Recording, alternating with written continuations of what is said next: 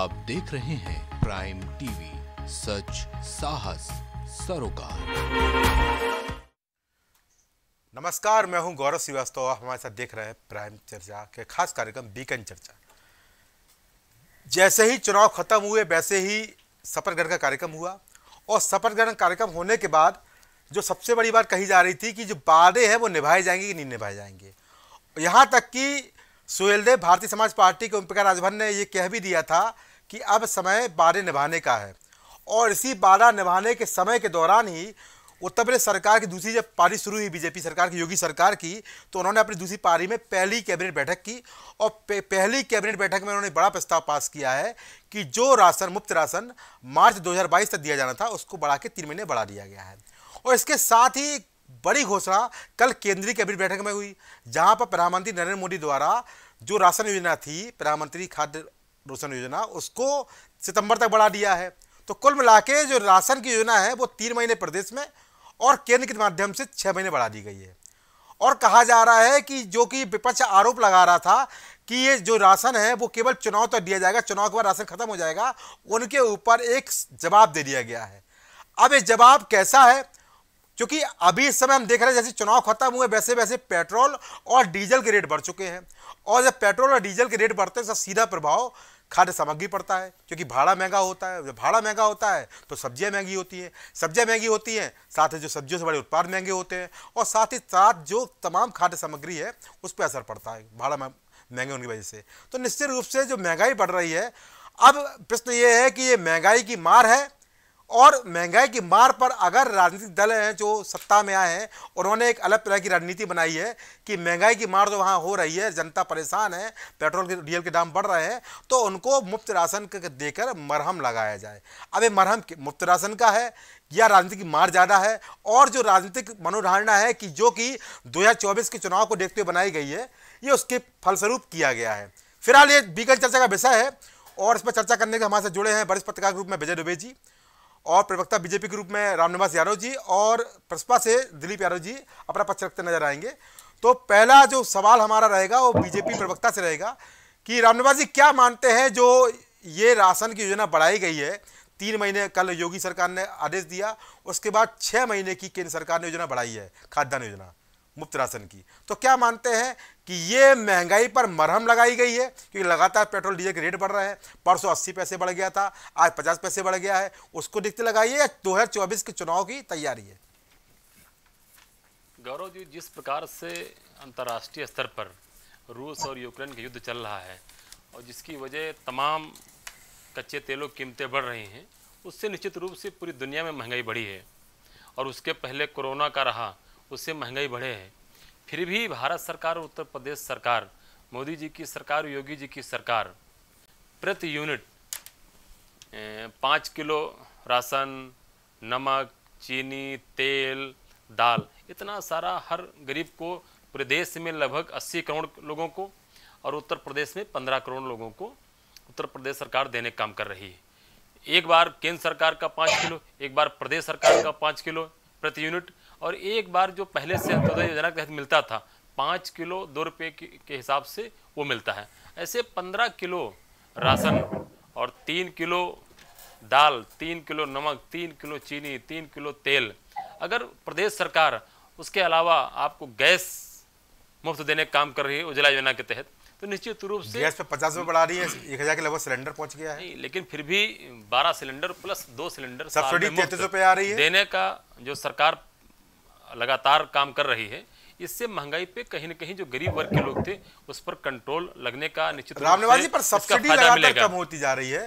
पहले दो सौ बासठ हुई गौरव जी। तैतीस रुपए हो गई है। अब जब पूरे देश में इतनी सुविधाएँ दे रहे हैं तो जो थोड़ा से संभले हुए लोग हैं थोड़ा मज़बूत लोग हैं उनकी कोई सब्सिडी कम हुई है। उसी क्रम में जैसे प्रधानमंत्री जी ने आग्रह किया तो देश के लगभग दो करोड़ लोगों ने सब्सिडी छोड़ दिया। और पहले गौरव जी आपको जानकारी होनी चाहिए कि पूरे देश में मात्र दो से तीन करोड़ कनेक्शन थे। आज पूरे देश में बारह करोड़ कनेक्शन हो गए हैं। तो कहीं ना कहीं अगर सुविधाएँ इतनी सरकार दे रही है तो जब पूरी दुनिया में महँगाई है पूरी दुनिया में महामारी का मार पूरी दुनिया झेल रही है तो निश्चित रूप से उसका असर तो भारत में महँगाई की बात करें रामनवास जी कोरोना के समय में जो कच्चे तेल के दाम थे वो अंतर्राष्ट्रीय व्यापार है बिल्कुल कम हो गए थे।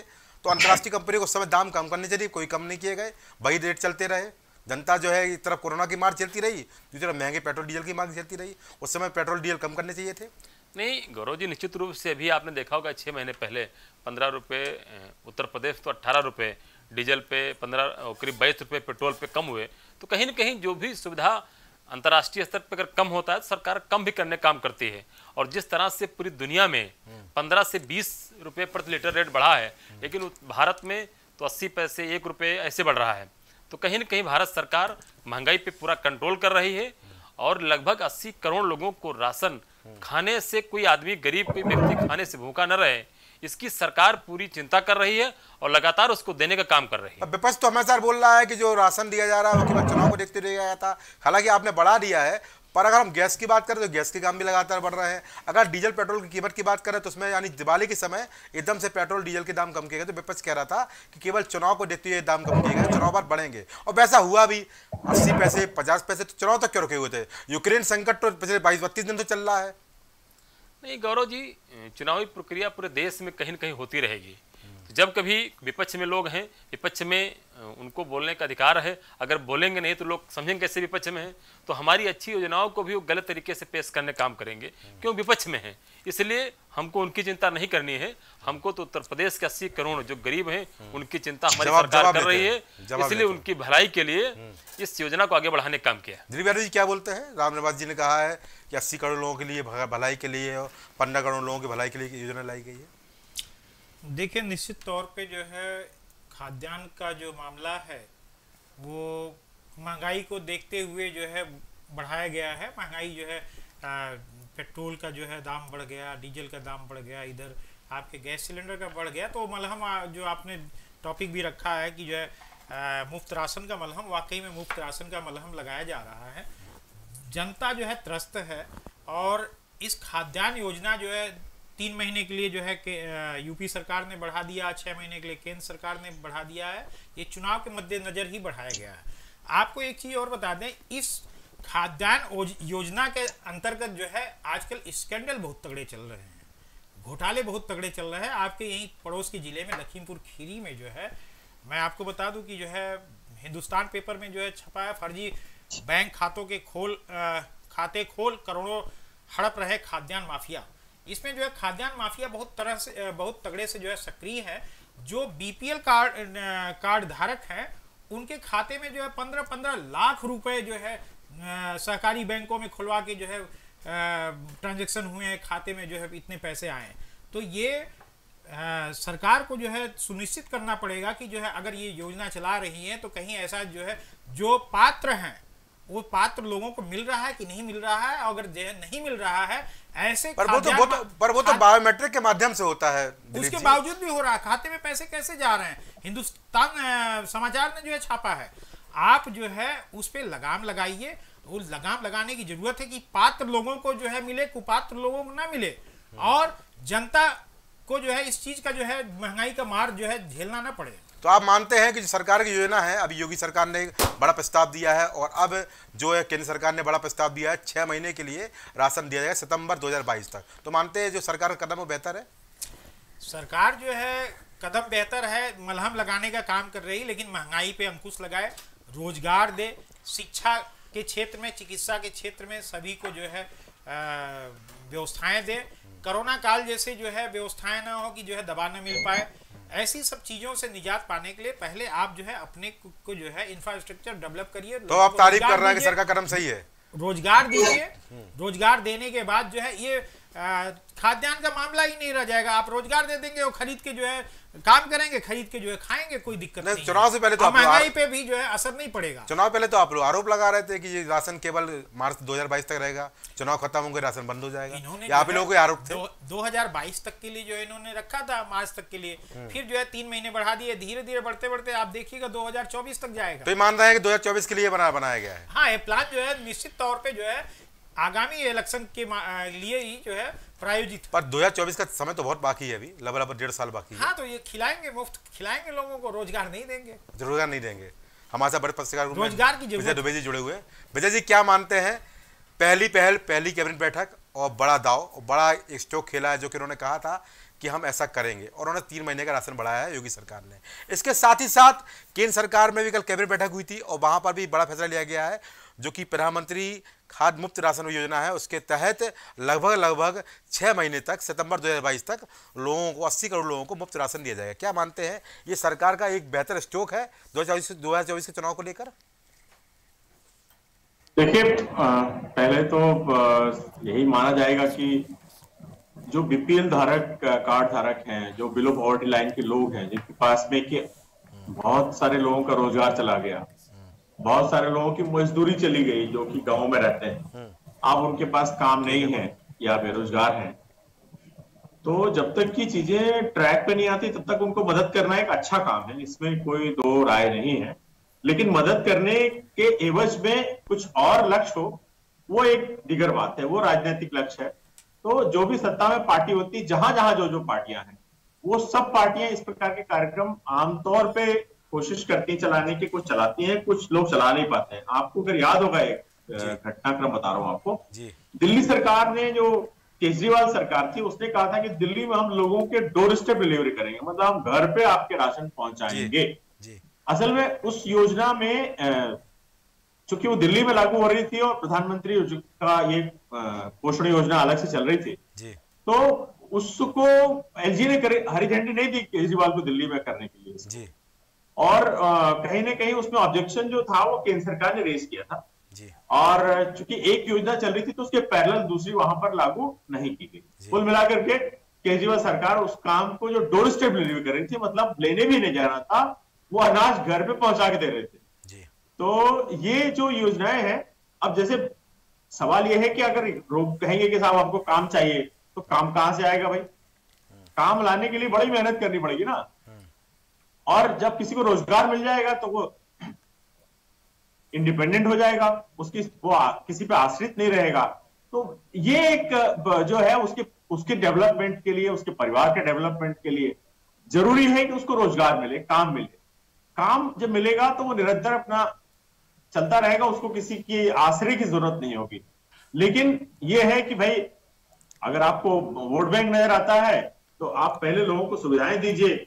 उसके बाद कहिए कि भाई हमने आपको दिया था तो क्लेम तो आप कर ही सकते हैं। अब ये अपोजिशन का काम है कि वो किस प्रकार से इन चीज़ों पे अपनी बात रखता है और लोगों को कैसे कन्विंस करता है। वैसे मैं एक बात और बता दूँगा। जी। आपने इसके पहले के कई सालों में सुना होगा कि हमारे यहाँ अनाज का इतना बफर होता है जी। कि वो बफर जब बरसात होती है जी। तो वो स्टॉक खुला में रहता है और सड़ जाता है। सड़ जाता है। तो ये इसमें कोई दिक्कत नहीं है कि जो अन्न किसी के खाने के लिए इस्तेमाल हो सकता है और सुरक्षित और अच्छा अन्न किसी तक पहुँचे वो डिलीवरी सिस्टम अगर सरकार ने डेवलप किया है तो ये एक अच्छी बात है। इसमें मैं इसको क्रिटिसाइज या आलोचनात्मक तरीके से नहीं कह सकता। का कारण यह है कि आपने, आपने हमारे यहाँ का पैदा हुआ अन्न जो आपने किसी किसान से लिया था कहीं से लिया था और बाद में हमें स्टॉक्स रखने के लिए आवश्यकता पड़ती है उसकी। और वो स्टॉक्स हम प्रॉपरली हैंडल नहीं कर पाते हैं। अगर लोग उसको यूटिलाइज करते हैं कि अगर किसी पास तक वो पहुँच जाता है वो उसके लिए अपने भोजन के लिए इस्तेमाल करता है तो ये एक बेहतर उपयोग है उसका। एक अच्छी बात है किसी के पास में अगर भोजन के लिए इस्तेमाल हो जाए बेहतर और होता कि वो कहीं उद्योग में इस्तेमाल होता और उसके लिए रिटर्न मिलता और लोगों को काम मिलता। लेकिन मैं खैर उस चीज़ को मैं सेकेंडरी मानता हूँ। प्राइमरी ये है कि उसका सही उपयोग होना चाहिए। वो अन्न सड़े नहीं वो अनाज बेकार ना हो। जहाँ चावल का बफर है वहाँ चावल का इस्तेमाल भी सरकार कर सके तो बेहतर पर दुबे जी सबसे बड़ा क्वेश्चन यहाँ पर ये करे तो। जी विजय दुबे जी सबसे बड़ा प्रश्न यहाँ पर यह है कि आप राशन दे रहे हैं कोविड समय रहा राशन ठीक रहा आपने राशन दिया पर चुनाव को देखते हुए पहले नवंबर से लेकर फिर आपका मार्च तक बढ़ाया गया और अभी हालाँकि कोई ऐसा कोविड का अंदेशा नहीं है। उसके बावजूद भी आपने तीन महीने के लिए और केंद्र सरकार ने छः महीने के लिए राशन को बढ़ा दिया है। क्या मानते हैं कि एक तरफ़ महँगाई बढ़ रही है, उसको देखते हुए कदम उठाया गया है, या 2024 के चुनाव को देखते हुए उठाया गया है, या सरकार की ये मनसा है कि हम बेहतर तरीके से मुफ्तखोरी की आदत डाले रहेंगे? भाई, अगर आप एक प्रकार से लगातार राशन मुफ़्त करेंगे तो निश्चित रूप से आदत जो होती है आम जनता की, वो मुफ्तखोरी की हो जाती है। क्योंकि महँगाई पर आपने नीति बनाई नहीं है। लगातार जमाखोरी हो रही है और जमाखोरी के चलते लगातार दाम बढ़ रहे हैं। ना कोई आयात नीति है ना कोई निर्यात नीति है। अगर हम कोई चीज़ आयात कर रहे हैं तो उसको आयात को हमको कम करना चाहिए और उस चीज़ को निर्यात ज़्यादा करना चाहिए हमको उसकी बढ़ाना चाहिए उसकी पैदावार को बढ़ाना चाहिए जिससे कि हमको आयात कम से कम करना पड़े। तो इसको लेकर कोई नीति नहीं बनानी चाहिए? क्या लगता है आपको? नहीं नहीं देखिए ऐसा है कि जो चीज़ें हमारे यहाँ उपलब्ध है जो हम एक्सपोर्ट करते हैं जी। जो हम दूसरे देशों को बेचते हैं उससे हमें फॉरेन रेवेन्यू मिलता है। हमारा फॉरेन रिज़र्व जितना बेहतर होता है हम मार्केट में भी उतना अच्छा डिलीवर कर सकते हैं। मतलब इंटरनेशनल मार्केट की बात कर रहा हूँ। और जब आपके पास में फॉरेन रिज़र्व नहीं होगा आपका एक्सपोर्ट डाउन होगा तो आपके पास में फॉरेन रिज़र्व नहीं होगा। देखिए हम जब विदेशों में पे करते हैं तो हमें डॉलर परचेज करने होते हैं हम डॉलर के रूप में करते हैं या जिस कंट्री का इकोनॉमी जो। जो यहाँ चलन की मुद्रा है उसमें पे करते हैं।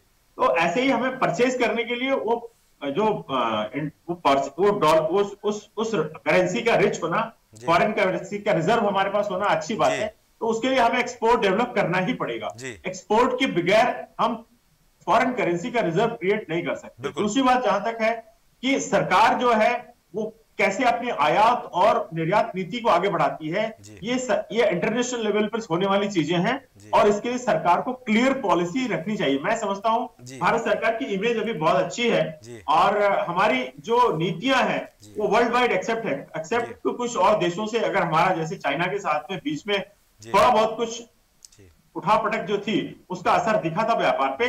लेकिन मुझे जो जानकारी है अभी उसके हिसाब से हमने चाइना से अन्य पिछले कई सालों से ज़्यादा व्यापार अभी भी किया है। जी। तो ये नहीं रहा है कि भारत के पास में अन्य देशों के लिए सप्लाई और निर्यात और आयात वाली जो स्थिति है उसमें हमारी स्थिति बेहतर है और ये अलग बात है कि हम उन चीज़ों को कैसे आगे बढ़ाते हैं यूटिलाइज कैसे करते हैं आ- और इंटरनेशनल लेवल पर अपने रिलेशन को कैसे डेवलप करते हैं। जी यहाँ तो आयात सब जो है जी। यहाँ अगर आयात की बात करें तो सरसों त- तेल सहित तमाम खाद्य तेल हैं जो हम आयात करते हैं बड़ी संख्या में। जिसका जहाँ महँगाई लगातार बढ़ रही है खाद्य तेल लगातार बढ़ रहा है आपको जो तेल आयात होते हैं उसमें पाम ऑयल की बहुत बड़ी वो है क्वांटिटी है।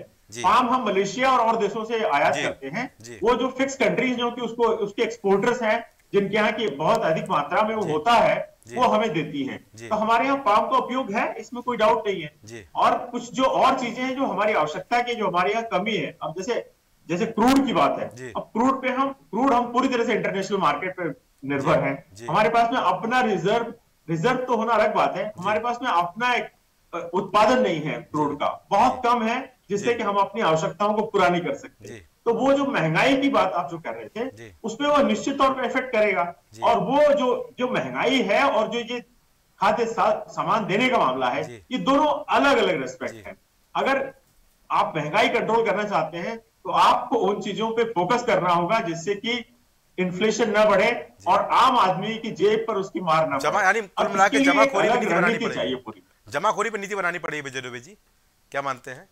जी जमाखोरी तो रोकना ही होगी लेकिन इन्फ्लेशन को कंट्रोल करने के लिए बहुत सारे जो दूसरे फैक्टर्स हैं उनको भी कंट्रोल करना पड़ेगा क्योंकि वही बेस है उनका। अगर मान लीजिए पेट्रोल की कीमत हमारी बहुत ज़्यादा बढ़ती है क्योंकि हमारा माल ढुलाई का काम अधिकतर जो है। रोड ट्रांसपोर्ट और अब तो काफ़ी हद तक डीजल इंजन कम हो गए लेकिन उसमें हम बिजली का इस्तेमाल करते हैं लेकिन अधिकतर रोड ट्रांसपोर्ट पे निर्भर है। तो वो जब कॉस्ट बढ़ेगी तो इन्फ्लेशन आएगा ही। लेकिन जमाखोरी की बात बात जहाँ तक है अगर आप जमाखोरी रोकना चाहते हैं तो उसके लिए आपको दूसरे पैरामीटर्स पे ध्यान देना होगा। कुल मिला नीति बनानी पड़ेगी महँगाई को रोकने के लिए। बिल्कुल। हाँ प्रोग्राम्स आपको जी सेट करने होंगे। जी बिल्कुल। रामनिवास जी क्या मानते हैं नीति बनानी पड़ेगी? क्योंकि लगातार आप लोग मुफ़्त राशन की व्यवस्था नहीं दे सकते। अभी 2024 में काफ़ी समय भी है और अभी फ़िलहाल कोविड का कोई अंदेशा भी नहीं है। हालाँकि चौथी लहर की बात की जा रही है पर अभी तक ऐसा कोई अंदेशा या आंकड़े नहीं आए हैं। तो क्या मानते हैं कि जिस तरह से महँगाई लगातार बढ़ रही है पेट्रोल डीजल के दाम लगातार बढ़ रहे हैं तो क्या नीति बनाने वाले भविष्य में लेकर? क्योंकि महँगाई को रोकने के लिए आपको नीति बना जैसे कि हमारा अभी विजय द्विवेदी ने कहा है कि नीतियाँ बनानी पड़ेगी। स्पष्ट नीति बनानी पड़ेगी उसको लेकर रूपरेखा बनानी पड़ेगी जिससे कि लेकर जो महँगाई है वो बेकाबू ना हो पाए। ये गौरव जी निश्चित रूप से सरकार ने पूरी प्लानिंग कर रखी है। जी। और अन्य देशों की अपेक्षा हमारे भारत में महँगाई फिर भी बहुत कम बढ़ी है। जी। जिस तरह से अंतर्राष्ट्रीय स्तर पे युद्ध चल रहा है जी। और कोरोना जैसी महामारी आई इन सब के बावजूद महँगाई सबसे कम होना भारत में हम सबके लिए एक अच्छा संकेत है। और क्योंकि मोदी जी और योगी जी की सरकार है उत्तर प्रदेश में योगी जी और देश में मोदी जी जी। तो मोदी जी का मैनेजमेंट इतना अच्छा है कि महँगाई का असर बहुत ही कम पड़ेगा। जैसे कोरोना महामारी का पूरी दुनिया में जो असर पड़ा उसका असर बहुत कम भारत पर पड़ा। जी।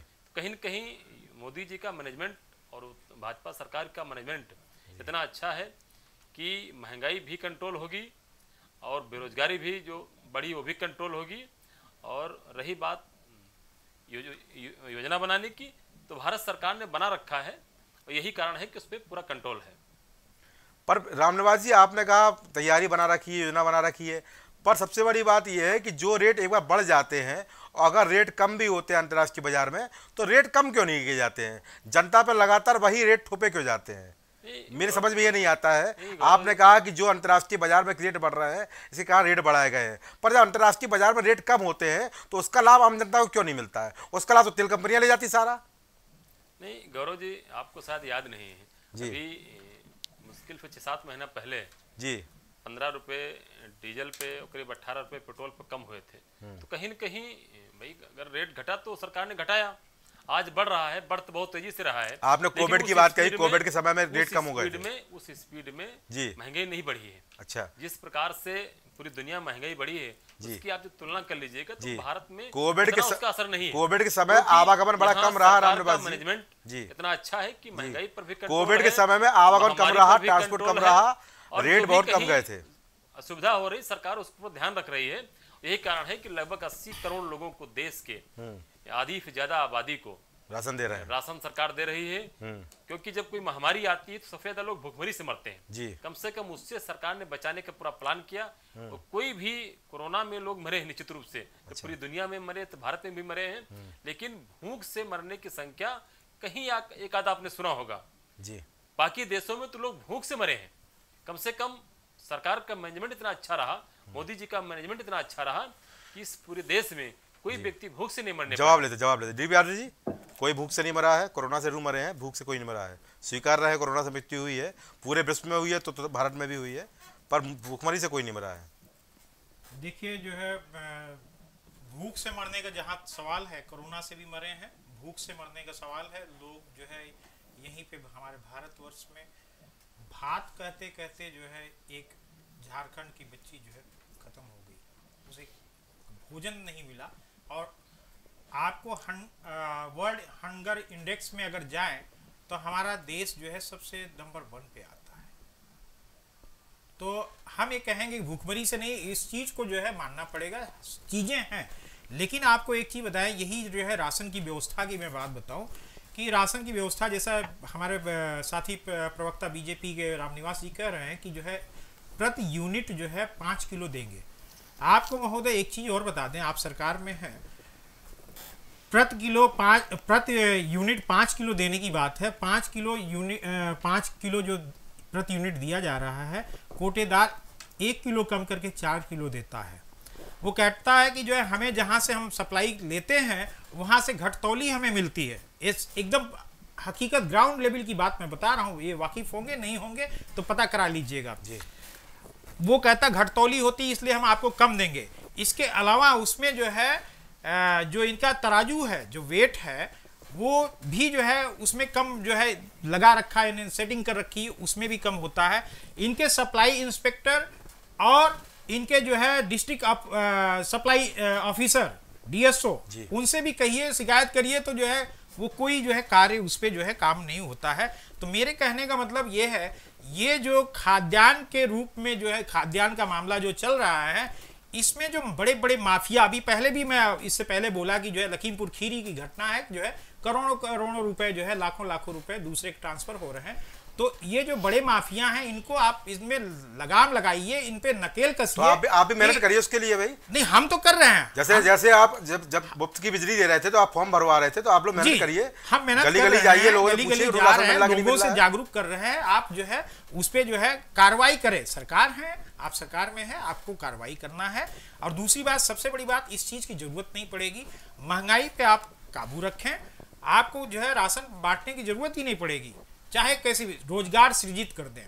इंफ्रास्ट्रक्चर में जो है डेवलपमेंट के तमाम चीज़ें हैं बड़े उत्तर प्रदेश बहुत बड़ा स्टेट है और हर तरह से जो है मतलब यहाँ पे नए नए चीज़ें जो है डेवलप करिए। जिस एरिया में जो रिसोर्सेज है उनको जो है डेवलप करें तो हमें लगता है कि जो है एक अच्छा जो है जो योगी सरकार 2.2 आ रही है वो जो है एक अच्छा मुकाम हासिल करेगी। है तो ये बताइए तो आप संतुष्ट हैं? अगर महँगाई बढ़ रही कोई दिक्कत नहीं कोई विपक्ष कोई आंदोलन नहीं करेगा रणनीति नहीं बनाएगा। नहीं नहीं जो राशन- की योजना है, महँगाई संतुष्ट अगर महँगाई अगर बढ़ रही है तो प्रति व्यक्ति आय भी जो है बढ़नी चाहिए। बढ़नी चाहिए। बढ़नी तो, चाहिए। तो विपक्ष क्या करेगा? कोई रणनीति बनाएगा इसको लेके? विपक्ष जो है सड़कों पे है हमेशा लड़ा है वो जो है। लड़ा है कि लड़ेगा? लड़ा है अभी लड़ेगा अभी भी। तो अभी तो विपक्ष कहीं नज़र नहीं आ रहा है। विपक्ष अपनी नेतागिरी में लगा हुआ है। बैठकें चल रही है।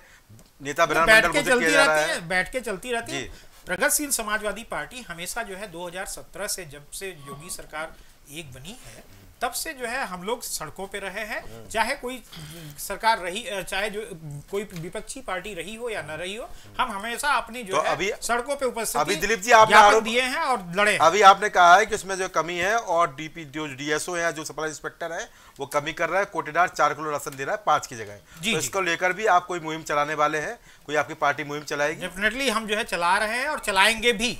अच्छा। पार्टी की तरफ़ से जो है वो रणनीति बन रही है। अब जो है इसको जल्दी हम लोग क्रियान्वयन करेंगे और गाँव गाँव पाँव पाँव जाने का मतलब यही था हमें अच्छा। हम जो हम मुहिम चलाए थे। वो उसका मतलब ये था कि जो है पुरानी सरकार क्या दे रही है क्या आप पा रहे हैं एक्चुअल में क्या है करेंगे। फैक्ट्स जो है वो हम जो है जन जन जवाब जवाब लेते जवाब लेते। रामनिवास जी बोले कभी बता रहे हैं कि चार करोड़ मिल रहा है मिल ही नहीं रहा है? गौरव जी दरअसल दिलीप जी मेरे मित्र हैं। जी। क्योंकि जो पिछली सपा सरकार में जिस तरह के करप्शन था जी। तो इनको लगता है कि शायद उससे योगी जी की सरकार उभरी नहीं। जी। लेकिन मैं निश्चित रूप से बता दूँ किसी भी कोटेदार की हैसियत नहीं है कि पाँच किलो का राशन चार किलो देते हैं। और रही बात जैसे पाँच किलो बता रहे थे पाँच किलो नहीं है। पाँच किलो प्रदेश सरकार पाँच किलो और केंद्र सरकार और पाँच किलो जो अंत्योदय योजना के तहत मिलता था दो रुपये किलो वो हम पंद्रह किलो दे रहे हैं पर यूनिट।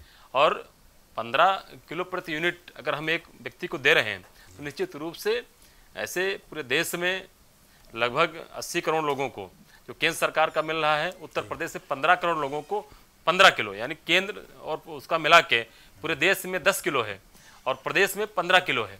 तो निश्चित रूप से जो भी महँगाई बढ़ रही है और उस पर रोक लग रही है, और सबसे बड़ी चीज़ ये है कि जिस प्रकार से इतनी बड़ी महामारी में पूरी दुनिया में लोग मर रहे थे उसमें देश की 80 करोड़ लोगों को भूख से न मरे, उनको राशन की व्यवस्था सरकार ने किया, उनको रहने की व्यवस्था सरकार ने किया, उनकी पानी की व्यवस्था किया, उनकी बिजली की व्यवस्था किया। तो इससे यही कारण है कि हम 2014 से जो हमारी विजय यात्रा शुरू हुई 2022 तक रुकी नहीं। विपक्ष अभी आप कह रहे थे कि हम लोग सड़क पर हैं तो निश्चित रूप से जनता ने आपको सड़क पर किया है तो आप सड़क पर रहेंगे, क्योंकि अगर आप काम नहीं करेंगे जनहित के, और खाली योगी जी की सरकार की आलो- आलोचना करेंगे तो निश्चित रूप से आपको सड़क पर रहना पड़ेगा क्योंकि उत्तर प्रदेश जनता योगी तो जी के साथ दाम बढ़ते रहेंगे और कामों के साथ रहेंगे। इसीलिए आपको सड़क पर रखेगी। तो रामनिवास जी दाम बढ़ते रहेंगे मुफ़्त राशन देते रहेंगे ये योजना चलेगी अभी तक? नहीं दाम बढ़ेंगे भी दाम घटेंगे भी। नीति नहीं बनाएँगे? नहीं गौरव जी देखिए जब हम राशन दे रहे थे तो रेट हमने पंद्रह रुपए किलो अठारह रुपए लीटर हमने कम भी किया है। तो रेट तो घटने बढ़ने का अंतर्राष्ट्रीय स्तर पर उसका क्रम है। घटेगा बढ़ेगा लेकिन उत्तर प्रदेश के 80 करोड़ जनता को राशन मिलेगा कोई भी देश में भूखों नहीं मरेगा इसका प्लान हमारी सरकार ने कर दिलीप जी दिलीप जी कह रहे हैं राम रामनिवास जी कि आप रोड पे ही रहेंगे आप लोग? रोड पे निश्चित तौर पे जो है हम रोड पे ही रहेंगे हम विपक्ष में हैं रोड पे रहेंगे और जन जन तक जो है इन योजनाओं का जो है जिसपे हम एक चीज़ और कह रहे हैं कि फिर अपनी बात को मैं दोहरा रहा हूँ कि एक यूनिट पे पाँच किलो और पाँच किलो के बदले जो है जितने भी जो है कोटेदार हैं मैं आपके चैनल के माध्यम से जो है उत्तर प्रदेश सरकार, योगी सरकार को जो है आगाह कर रहा हूँ। वो जाँच करा लें। जाँच का विषय है। बहुत बड़ा स्कैंडल का विषय है। और बीपीएल कार्ड धारकों के जो है खाते में पैसा जा रहा है। लाखों लाखों रुपए। है, मेरे पास जो है व्हाट्सएप पड़ा हुआ है। पेपर की कटिंग है। मैं पेपर की, हिंदुस्तान पेपर की, इसको जाँच कराएँ, निष्पक्षता से जाँच कराएँ। और जो इसमें लिप्त लोग हैं, जो संलिप्त लोग हैं, उनके ऊपर जो है दंडात्मक कार्रवाई जैसा भी जो है जो कानून के तहत हो उनको जो है जेल भेजने का कष्ट करें। रामनिवास जी स्कैंडल का आरोप लगा रहे हैं? दिलीप जी नहीं अगर दिलीप जी को लगता है कि पहली बात तो लाखों रुपए हो नहीं सकता क्योंकि जब हम पंद्रह किलो राशन दे रहे हैं तो पंद्रह किलो का इतना पैसा नहीं हो सकता। फिर भी अगर कहीं कोई गड़बड़ कर रहा है तो लिख के देंगे योगी जी की सरकार है उसको उल्टा टांगेंगे। मैं जी। एक मिनट सुनाना चाहता हूँ। हिंदुस्तान पेपर का जो है मेरे पास कटिंग है। जिसमें जो है बीपीएल कार्ड धारकों के नाम खोले जा रहे हैं सहकारी बैंकों में खाते रैकेट सक्रिय होने की आशंका। यूँ जमा हुई रकम निकाली गई। राजेश्वरी ये लखीमपुर खीरी का डीएम लखीमपुर खीरी से शिकायत के बाद सामने आए फर्जी खाते। पूरे प्रदेश में रैकेट होने की आशंका उच्च स्तरीय जाँच की मांग। आप राजेश्वरी पत्नी जगजीवन बैंक खाता नंबर इतना इसमें पंद्रह लाख चौरासी हज़ार चार सौ बासठ रुपए। अमीना सईम में जो है खाता में जो है छह लाख पचहत्तर हज़ार जी, रुपए। जी, जी। ये ऐसे करके मेरे पास तो आप आप में जग इसका- आप संज्ञान लेके इसको मामले को उठाएँगे नहीं उठाएँगे? नहीं मैं, मैं मामले को आपके चैनल के माध्यम से उठा रहा हूँ इतना बड़ा प्लेटफॉर्म जो है अगर है तो ये बात जो है योगी जी तक जो है जाननी चाहिए और जो है उनको संज्ञान में लेके जी। इस पे कार्रवाई करना चाहिए और जो है जो भी इसमें संलिप्तता जिसकी जिसकी भी हो। जी। उनके ऊपर जो है कठोर से कठोरतम जो है जी। दंड का प्रावधान होना चाहिए। विजय रवि जी जुड़े हुए हमारे विजय जी क्या मानते हैं जो उन्होंने दिलीप यादव जी ने कहा है कि स्कैंडल चल रहा है और पाँच किलो चार किलो मिल रहा है और खाते जो धारक में पैसा पहुँच रहा है वहाँ पर हेराफेरी हो रही है। इस तरह का स्कैंडल बता रहा है हिंदुस्तान समाचार कोई पेपर है उसमें निकला हुआ है उसका संज्ञान लेते हुए कह रहा है। क्या मानते हैं इस पर देखिए अगर देखिए एक सिस्टम है एक सिस्टम के तहत गवर्नमेंट ने अपना सेटअप बनाया हुआ है। अगर उसमें कहीं कोई ऐस- इस प्रकार की बात सामने आ रही है कोई घोटाला हो रहा है तो, तो जाँच का विषय है और जाँच होनी चाहिए और चेक होना चाहिए कि अल्टीमेटली क्या है। और अगर जहाँ तक बात हिंदुस्तान की बात कर रहे हैं तो अगर कोई खबर छपी है तो वो खबर सबके सामने गई होगी। उसके और मिनिस्टर चाहे चीफ मिनिस्टर के यहाँ भी फ़ाइल हुई होगी। तो ये खबर आपने उठाई भी है दिलीप जी ने ऐसी बातें कही है। तो अगर कोई ऐसी चीज़ है तो निश्चित तौर पर मैं कहता हूँ कि भाई इसकी जाँच होनी चाहिए और जाँच करके इस चीज़ को फाइंड आउट करना चाहिए क्या है अल्टीमेट क्या है? कोई खबर का आधार क्या है? और एक्चुअली जो खबर है उसका क्या है कहाँ से ये सब हो रहा है घोटाले की जाँच करके पता लगाना चाहिए। लेकिन देखिए ये एक एक एक एक, एक एपिसोड है छोटा सा हिस्सा जो आप बता रहे हैं। एक सवाल ये उठता है कि जो ये खाद्यान्न वितरण है ये तो एक ट्रांसपेरेंट व्यवस्था है। जी जी। इस ट्रांसपेरेंट व्यवस्था में भी अगर लोगों ने अपना बायोमेट्रिक बायोमेट्रिक निकाल लिया है है जी। तो ये जो है एक बड़ी बात है। और ये निश्चित तौर पे बहुत गंभीर बात भी है मैं कहूँगा। इसको गंभीरता से लिया जाना चाहिए। जी कुछ बोल रहा है, अगर लखीमपुर में ऐसा हो? रहा है तो ये गड़बड़ है। दिलीप जी विजय कुछ बोलना जी चाह रहे हैं? विजय जी जाँच करके दंडा दंड दिया जाना चाहिए उस व्यक्ति को जिसके कारण से ये हो रहा है। और कौन इसका सोर्स ये भी पता चलना। चाहिए। दिलीप जी बोलना चाह रहे हैं। विजय जी और- यहीं पे हम लोग बैठे हुए हैं। जी। आपके मैं लखनऊ की बात बता रहा हूँ। कई ऐसे कोटेदार हमारे जानने वाले लोग हैं जो कि इसी क्षेत्र में रहते हैं। लखनऊ राजधानी की बात बता रहा हूँ। इस्माइलगंज है आपका जो है चिन्हट है। ये तमाम ये जो एरिया है गोमती नगर इंदिरा नगर इन सब जगहों की बात बता रहा हूँ। कोटेदार जो है वाकई में चार पाँच किलो एक यूनिट में पाँच किलो की जगह चार किलो दे रहे हैं। भटतौली कहते हैं वहीं से आ रहा है। मैं यही जो है इनफैक्ट मैं जो है आजमगढ़ ज़िले का रहने वाला। वहाँ भी यही आलम है। जौनपुर भी यही आलम है। सटा हुआ जिला है जौनपुर भी ये। तो मेरे कहने का मतलब कि जो है अगर भ्रष्टाचार हो रहा है इतनी बड़ी गड़बड़ी हो रही है तो निश्चित तौर पे जो है ऐसे कोटेदारों को दंडित करना चाहिए और इनमें जो है जो भी अधिकारी संलिप्त हैं। ये बहुत बड़ा इशू है। जी। ये लोगों के जो है आप तो जो है अच्छे कार्य के लिए लोगों को जो है भोजन की व्यवस्था करा रहे हैं लेकिन ये जो माफिया है जी। मैं योगी सरकार के मंशा पे जो है सवाल नहीं उठा रहा हूँ। उनकी मनसा अच्छी है। लेकिन अगर ऐसे कुकित करने वाले जो है माफिया जो पैदा हैं जो भरे पड़े हैं इनको जो है तुरंत दंडित करना चाहिए उनको जेल भेजना चाहिए क्योंकि वो एक जो है जन भावनाओं से और सरकार की जो है जो अच्छी मंशा है उस मंशा को जो है पूर्ण नहीं होने देना चाह रहे हैं। मैं इस पे सवाल उठा रहा हूँ और दंड दंड मिलना चाहिए। मैं जाके कोटे मैं खड़ा होके जो है वहाँ पे कोटेदार के यहाँ मैं देखा हूँ। साक्षात देखा हूँ क्योंकि मेरे दोस्तों ने बताया चूँकि मैं विपक्षी पार्टी का हूँ तो जो है मुझे देखना भी पड़ता है कभी कभी जो है मन कर दिया जो है चले गए देख लिए वाकई में स्थिति क्या है वही चीज़ें हम आपको बोलेंगे। हम जो बोल रहे हैं पूर्णतः सत्यता है। इससे जो है सब लोग जो है वाकिफ है। तो रामनिवास जी आप बैठे हुए हैं और आपको ये मामला उठाना है आपको देखना भी है कि आरोप लग रहा है कि लगातार हेरा फेरी हो रही है। तो ये आपकी ज़िम्मेदारी आप सरकार में है और आपकी निश्चित रूप से राजधानी लखनऊ की बात करें दिलीप यादव जी तो निश्चित रूप से आपकी ज़िम्मेदारी बनती है। उसको दिखवाना चाहिए आपको। नहीं गौरव जी अभी दिलीप जी बता रहे थे कि बगल ज़िले का मामला था। जी। उसमें मैं जानकारी बता दूँ ये पेपर में छपा था मेरे भी संज्ञान में आया है। जी। वहाँ समाजवादी पार्टी के एक नेता थे। जी। उन्होंने दो महिलाओं पे ज़मीन लिखवाई थी। अच्छा। उसी का पैसा छह लाख एक में पंद्रह लाख रुपए एक में जी। डाला था। जी। राशन का कार्ड बनवाने के बहाने उनकी ज़मीन लिखवा लिया था। अच्छा। ज़मीन थी उनकी पचासों लाख रुपए की और बीस इक्कीस लाख रुपए दिया था। जी। उसको जो है क्योंकि वो खाते में गया था जनधन खाता था लोगों को लगा आप आप भी समझते हैं विजय जी समझते हैं कि पंद्रह लाख रुपए किसी भी उसको नहीं मिल सकता। जी, है जी। पाँच किलो पंद्रह किलो राशन में जी। पाँच पंद्रह लाख कैसे मिल जाएगा? जी, उसमें वो नेता गिरफ़्तार हुए हैं वो समाजवादी पार्टी के नेता थे उन पर कार्रवाई हुई है। दिलीप जी क्या जवाब देंगे? पूरी रूपरेखा बता रही उन्होंने जो आपने जो आपने जो ट्रांसफ़र की बात की थी जनरल खाते में उन्होंने कहा सपा के नेता थे और उन्होंने ज़मीन लिखवाई थी पचास लाख की ज़मीन को पंद्रह लाख में ट्रांसफ़र कराया था। लेकिन मेरे पास जो है जो इसमें जो है आया है सिर्फ़ एक ही लोग नहीं है। यहाँ पे जो है कई लोग मुस्लिम भी हैं। नहीं तो- पंद्रह लाख रुपए कैसे ट्रांसफ़र हो जाएँगे? पंद्रह लाख वही तो पंद्रह लाख छह लाख।